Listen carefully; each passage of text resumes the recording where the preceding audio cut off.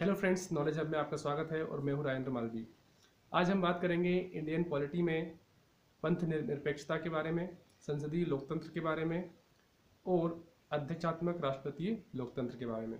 तो one by one हम इन सभी चीज़ों को देखेंगे। तो आइए शुरू करते हैं पंथ निरपेक्षता से। क्या होता है पंथ निरपेक्षता? यदि हम पंथ निरपेक्षता की बात करें तो भारतीय संविधान में पंथ निरपेक्षता के बारे में कहा गया है कि जिसमें राज्य का कोई धर्म न। हो मतलब नागरिकों के बीच धर्म धर्म के आधार पर कोई भेदभाव नहीं होगा। प्रत्येक नागरिक, चाहे वह किसी भी धर्म का हो, धार्मिक स्वतंत्रता का अधिकार उसे प्राप्त होगा। अब इसका मीनिंग क्या है? इसका सिंपल सा मीनिंग ये है कि भारत क्या है? धर्मनिरपेक्ष है या पंथ निरपेक्ष देश है। यहाँ पर सभी को अपने अपने धर्म को मानने की आज़ादी है। ठीक है ना? और साथ ही साथ यहाँ पर धर्म के आधार पर कोई भी भेदभाव नहीं होगा। और भारतीय संविधान में यह बात स्पष्ट रूप से कही भी गई है। यदि हम भारतीय संविधान की प्रस्तावना की ही बात कर लें तो भारत की संविधान की जो प्रस्तावना है, उसी में भारत को पंथ निरपेक्ष या धर्म निरपेक्ष राष्ट्र उसमें बताया गया है। वहीं से ये क्लियर होता है कि भारत क्या है? धर्म निरपेक्ष राष्ट्र है। ठीक है? यदि हम पंथ निरपेक्षता और धर्म निरपेक्ष देश के रूप में बात करें तो संविधान क्या करता है? भारत को पंथ निरपेक्ष राष्ट्र घोषित करता है। भारत का संविधान क्या करता है? भारत को पंथ निरपेक्ष या धर्म निरपेक्ष राष्ट्र घोषित करता है। और भारत में हम देखें, जो समता का अधिकार है, समानता का अधिकार है, ठीक है ना? वो क्या है? एक मौलिक अधिकार है। मतलब मौलिक अधिकारों की हम सूची देखें तो उसमें समता का अधिकार भी दिया गया है। तो इस प्रकार से हम बोल सकते हैं कि पंथ निरपेक्षता क्या है? ये भारतीय संविधान में सिद्ध होती है कि क्या है? पंथ के आधार पर, धर्म के आधार पर कोई भी भारत में भेदभाव नहीं होगा। सभी को समानता के अवसर दिए जाएँगे। और भारतीय संविधान क्या है? सभी ग्रंथों में सर्वोच्च होगा। मतलब जो हमारा देश है, वो संविधान के अनुसार ही चलेगा। यदि हम एक और इसमें नेक्स्ट टर्म हमने बात की है संसदीय लोकतंत्र। संसदीय लोकतंत्र को हम पार्लियामेंट्री भी बोलते हैं। यदि हम संसदीय लोकतंत्र की बात करें तो इसमें विधायिका और कार्यपालिका, इन दोनों में घनिष्ठ संबंध होता है। ये दोनों से, दोनों ही क्या होती है? पार्लियामेंट्री को रिप्रेजेंट करती है, संसदीय लोकतंत्र को रिप्रेजेंट करती है। ठीक है ना? विधायिका का मतलब होता है संसद। ठीक है? और कार्यपालिका का मतलब क्या होता है? मंत्री परिषद। यदि हम भारतीय संविधान में संसद की बात करें, ठीक है तो संसद का मतलब होता है जहाँ पर विधान बनाए जाते हों, कानून बनाए जाते हों, ठीक है ना? और संसद में क्या क्या आते हैं? संसद में आपका लोकसभा, राज्यसभा और राष्ट्रपति, इन तीनों से मिलकर क्या बनती है? आपकी संसद बनती है।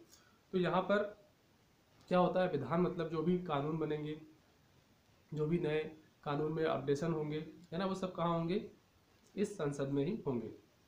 और कार्यपालिका की बात करें तो कार्यपालिका में मंत्री परिषद होगी, जो कि जो संविधान में बनाए कानून हैं, या नियम है, या फिर जो भी योजनाएँ हैं, उनको क्रियान्वित करने का, करने की जो ज़िम्मेदारी है, वो कहाँ होगी? मंत्रिपरिषद के पास होगी, ठीक है?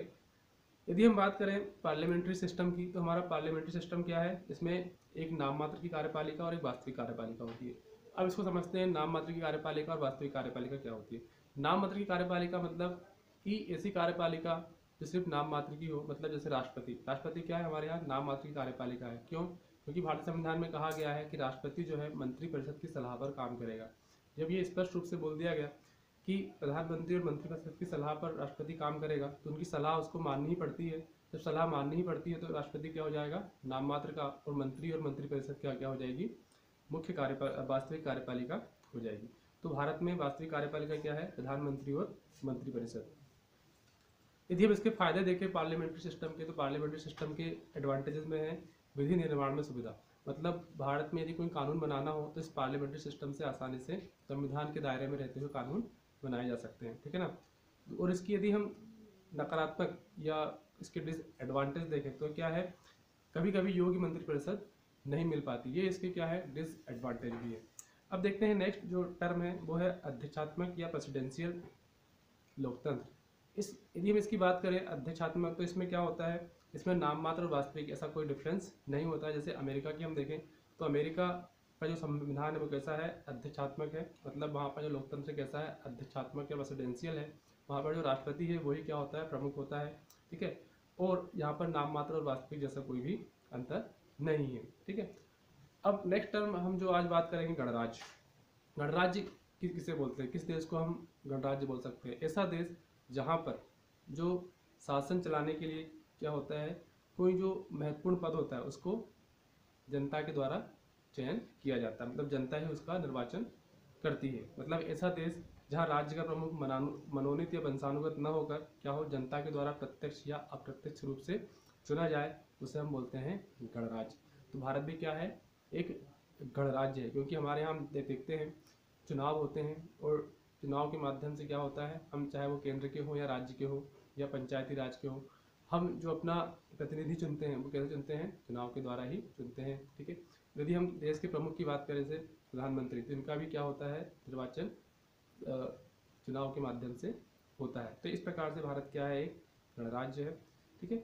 तो आज की क्लास में हमने क्या क्या देखा? हमने देखा पंथ निरपेक्ष देखा कि भारत क्या है पंथ निरपेक्ष है। भारतीय भारतीय संविधान की प्रस्तावना में स्पष्ट रूप से कहा गया है। जब हमने देखा पार्लियामेंट्री तो भारतीय संविधान कैसा है? पार्लियामेंट्री है, संसदीय लोकतंत्र है भारतीय संविधान में, ठीक है ना? क्योंकि भारतीय संविधान में क्या है? मंत्री, प्रधानमंत्री और मंत्रिपरिषद, यही क्या है? वास्तविक कार्यपालिका है और राष्ट्रपति नाम मात्र की है, क्योंकि राष्ट्रपति को प्रधानमंत्री और मंत्रिपरिषद की सलाह माननी पड़ती है। जबकि हम बात करें प्रेसिडेंशियल की क्योंकि हमारे भारत में नहीं है यूएसए में क्या है प्रेसिडेंशियल सिस्टम होता है। यहाँ पर राष्ट्रपति क्या होता है, प्रमुख होता है, ठीक है ना? और यहाँ पर वास्तविक और नाम मात्र कार्यपालिका का कोई भी ऐसा कॉन्सेप्ट नहीं है, क्योंकि यहाँ पर राष्ट्रपति ही प्रमुख है है ना? तो यहाँ पर वास्तविक और नाम मात्र का कोई कॉन्सेप्ट यहाँ पर नहीं आता है, ठीक है? फिर हमने गणराज्य की बात करी। गणराज्य ऐसे देश होते हैं जहाँ पर जो देश का या राज्य का प्रमुख होता है, उससे मनोनीत या वंशानुगत न होकर वो जनता के द्वारा निर्वाचित किया जाए, ठीक है? तो आज की क्लास में इतना ही। यदि वीडियो अच्छा लगे तो लाइक करें, चैनल को सब्सक्राइब करें और बेल आइकन पर क्लिक करें ताकि आपको लेटेस्ट वीडियो के नोटिफिकेशन मिलते रहें। हमने पॉलिटी में और भी कई वीडियोस बनाए हैं, है ना? उन वीडियोस को भी आप चैनल को सब्सक्राइब करके चेक कर सकते हैं। इस यूट्यूब चैनल पर आपको यूपीएससी पीएससी और एसआई कांस्टेबल सभी के वीडियोस आपको मिलेंगे, ठीक है ना?